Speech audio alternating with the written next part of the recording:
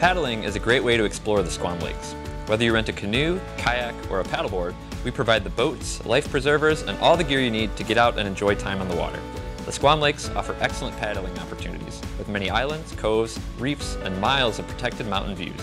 SLA has a fleet of rental boats, including kayaks from Wilderness Systems, Old Town, Boreal Designs, and Necky, as well as canoes from Old Town and Grumman, and stand-up paddleboards from Glide. Boats are rented by the hour or daily from 9 a.m. to 3 p.m. during the summer season. Reservations are not required. Come explore the shores of Squam.